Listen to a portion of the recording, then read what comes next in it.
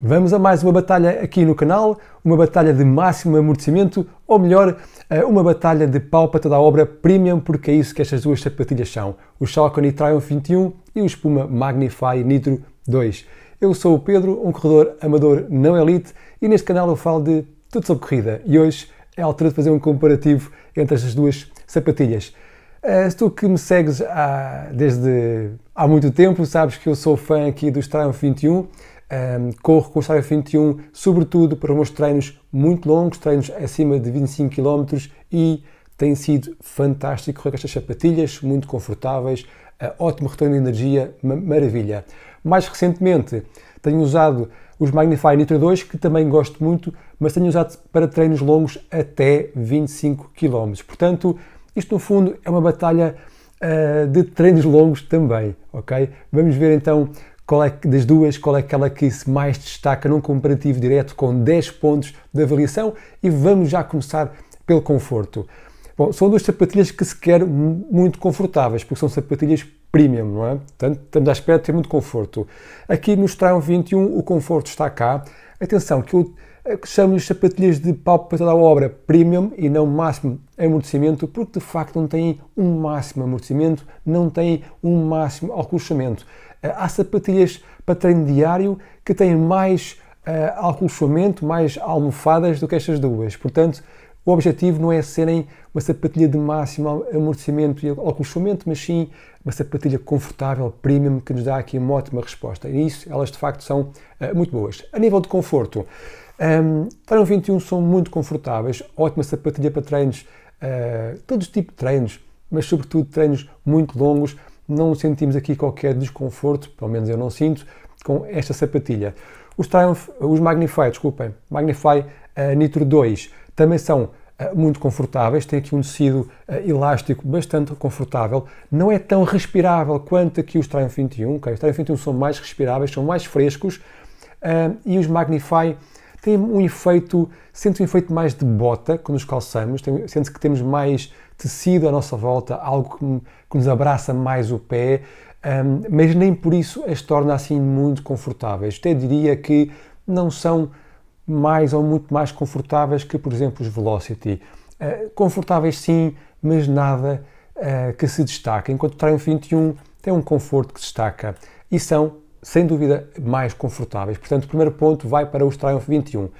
Vamos ao segundo ponto, uh, entre sola. Temos aqui duas entressolas de, de excelência mesmo. Aqui no Strong 21 temos a Power One Plus, uma entressola leve com um ótimo retorno de energia, bastante macia. E aqui temos a famosa uh, espuma Nitro, também leve, bastante macia e também bastante reativa. São duas entressolas uh, muito boas, duas entressolas muito macias, com bom retorno de energia, mas uh, a entressola aqui que se destaca mais é, sem dúvida, a entressola do Triumph 21 Power One Plus, porque é mais macia e ao mesmo tempo dá-nos mais retorno de energia, ok?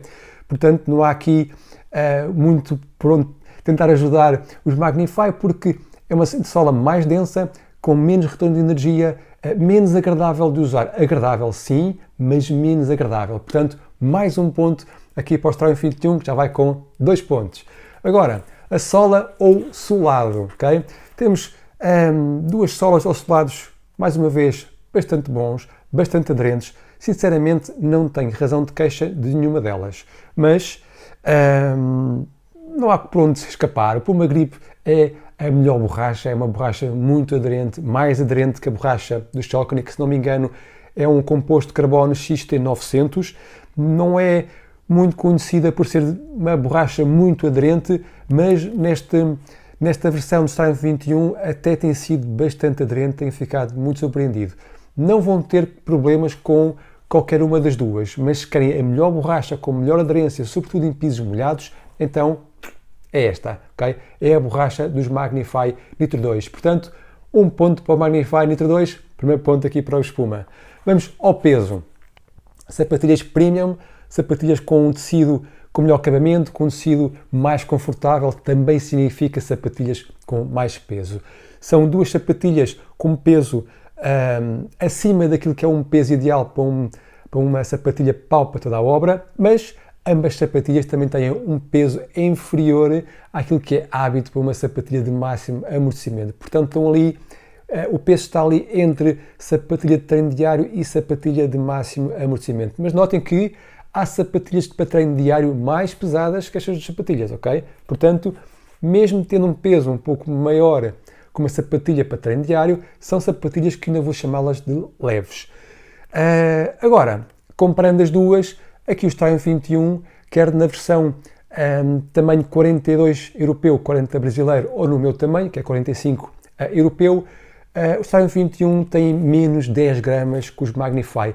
Não é muito, não é muito significativo, mas são 10 gramas que se sente na corrida, okay? e às vezes o que se sente não é tanto o peso, é a forma como o peso é distribuído. Uh, aqui nos Magnify o peso até é, eu vou dizer que é bem distribuído, mas sente-se maior peso na zona de calcanhar. Mas, de qualquer forma, os Magnify têm mais 10 gramas que o Starion 21, portanto, não há como fugir. Starion 21 ganham mais um ponto, ponto do peso. Vamos agora ao ajuste. O ajuste no pé é muito bom em ambas. Ambas têm um lockdown, não vou dizer perfeito, mas ótimo para aquilo que vocês precisam, ótimo para treinos diários, treinos de recuperação, uh, todo tipo de treinos que queiram fazer com estas sapatilhas.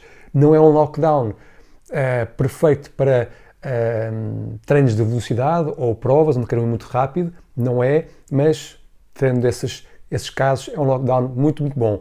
Ainda assim, o vosso pé vai ficar mais bem ajustado no Strong 21, uh, estranhamente porque esperaria que os Magnify, por terem um efeito mais de bota, tivessem um lockdown mesmo muito bom, mas não senti esse lockdown no Magnify. O meu calcanhar está um pouco solto aqui nos Magnify e no Strong 21 não sinto isso. Okay? Todo ele está muito bem ajustado, portanto, mais uma vez, um empate, um empate não, um ponto para o Strong 21 que já vai um bocadinho à frente.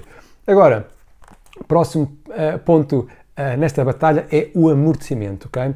São sapatilhas vá, premium, mas que também são de máximo amortecimento, pelo menos um pouco, Portanto, este é um ponto muito importante. Uh, a nível de amortecimento, eles são diferentes. Triumph 21 tem um amortecimento mais suave, uh, depois tem um maior retorno de energia, mas isso para aqui não interessa. O que interessa é o amortecimento. É mais suave, o vosso pé sente que afunda um pouco mais depressa, mas amortece bastante bem e, como eu vos digo, eu uso para fazer até 38 km nos meus treinos e não tenho qualquer problema. Os Magnify tem um, um amortecimento um pouco mais denso, uh, o vosso pé não afunda tanto ou não afunda tão depressa, mas ainda assim sente-se que tem um excelente amortecimento. Vocês sentem que tem aqui uma proteção excelente nos Magnify. Portanto, são amortecimentos diferentes, mais suave e um pouco mais denso, mas ambos são ótimos amortecimentos para quem quer uma sapatilha mesmo boa uh, para amortecer o nosso, nosso impacto no chão. Portanto, aqui é um empate. O um empate para para o ponto do amortecimento, porque de facto são ambas igualmente muito boas.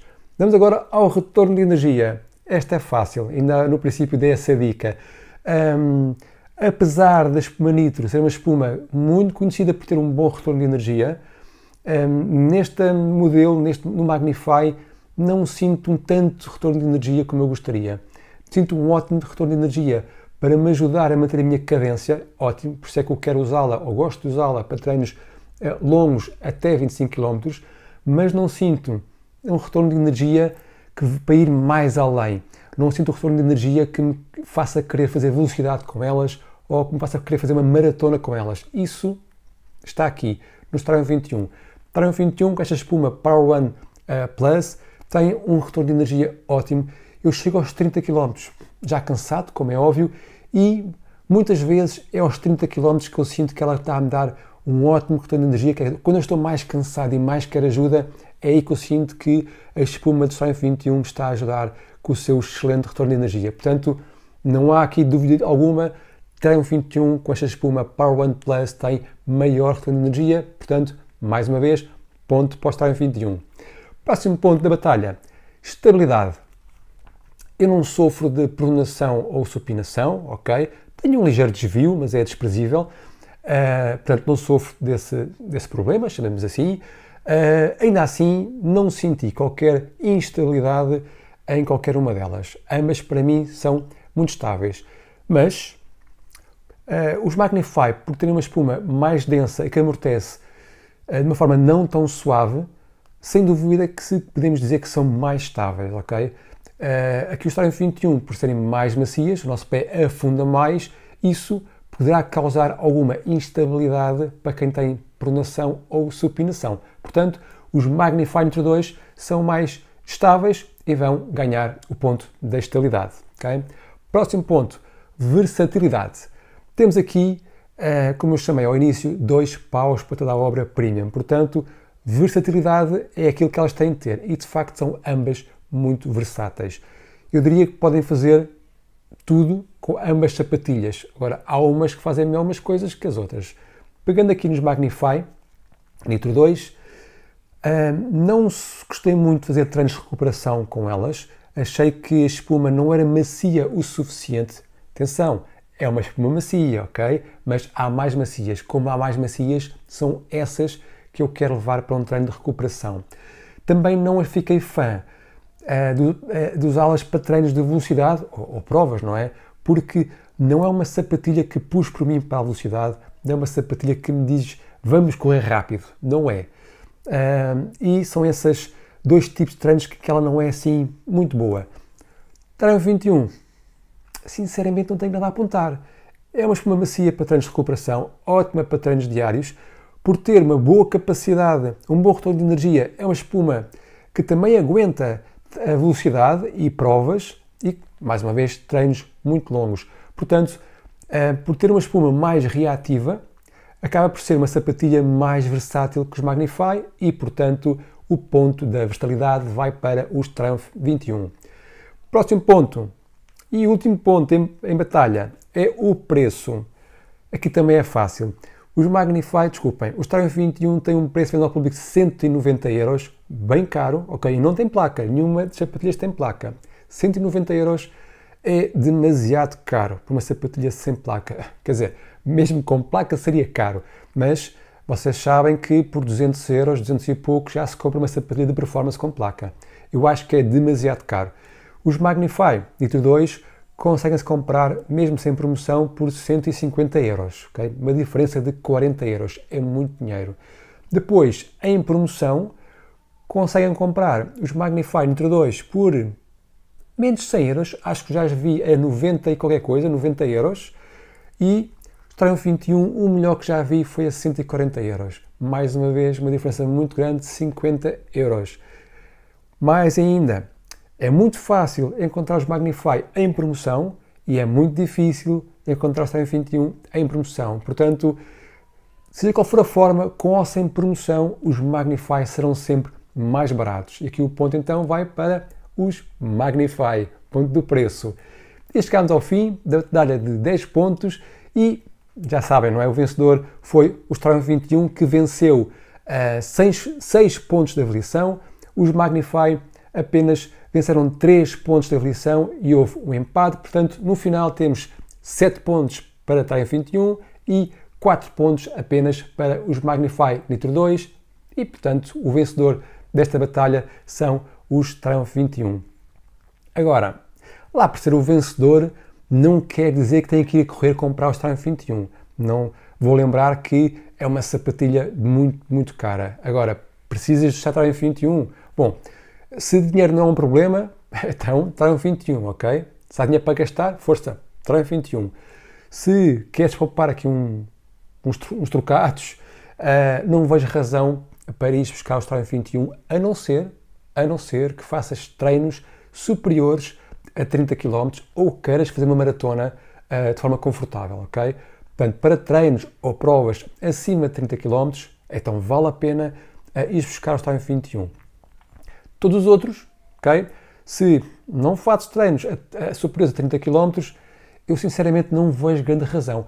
Os uh, Magnify não têm uma espuma tão boa, mas continuam a ter uma espuma excelente com um bom retorno de energia. Não tão forte como o Story 21, mas é na mesma muito bom, ok? Portanto, não recomendo comprar o Story 21 se não fazes treinos demasiado longos. Os Magnify servem, chegam e sobram para o que vais precisar mas se há dinheiro, Triumph 21.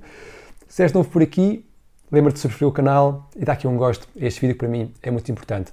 Vou colocar na descrição os links para poderes adquirir as sapatilhas, caso queiras, na Top for Running uh, e coloca o código All About Running para teres um desconto extra de 5%. Dúvidas, comentários, questões, o que quiseres, coloca aí em baixo nos comentários que eu respondo sempre e fica por aí. Até à próxima.